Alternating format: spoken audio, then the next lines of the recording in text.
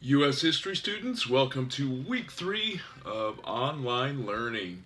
And this week, I think we tie together a lot of the things that we've been talking about, and you have two lessons that you'll complete this week. Last week, we talked about industrialization and the process of America becoming an industrial power, which was important because one of the things that you need to be a world power is you need a strong economy.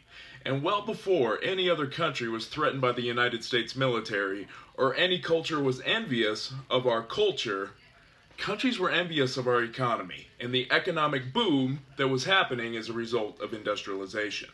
Now, because of industrialization, we had lots and lots and lots and lots and lots of immigrants coming to the United States. In the last lesson, we talked about push factors and pull factors of immigration, and I'll say the one that trumps everything is in the United States. Then, now, and forever, we have jobs. You can make a living in the United States. Why do people come from Mexico to the United States in 2020? Because in the United States, you can get a job, and that job will pay you more than the money that you will make doing the exact same thing in Mexico.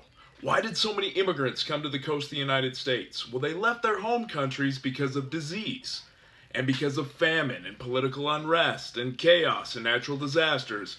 But when they left, especially when you think China, which is not close by any way, shape, or form to the United States, why did they decide to come here? We like to tell ourselves that it's because we have freedom. And I'm not going to say that's not the case, but I will always argue that if you don't have food, because you don't have money, because you don't have a job, you don't care about freedom. So the thing that brought most people to the United States is we had jobs because of industrialization. Freedom was kind of an added benefit.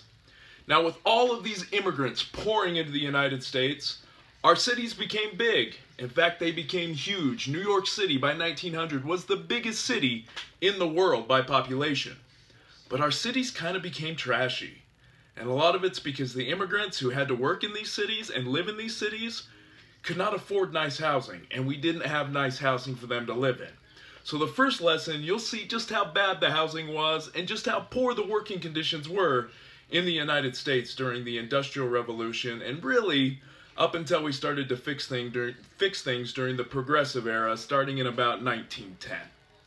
In the second lesson, you will talk about the superstars or celebrities of the Gilded Age. These men, who we sometimes call captains of industry, are men that we still celebrate today for the way that they built the American industry. We'll talk about guys like Andrew Carnegie and how he contributed greatly to America's steel.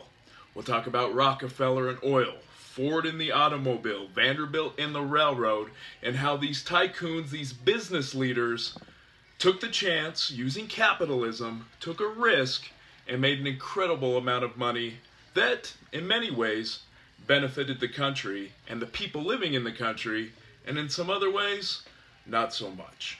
So you have two lessons this week. The first, living in working conditions during the Gilded Age, and the second, you will talk about these captains of industry.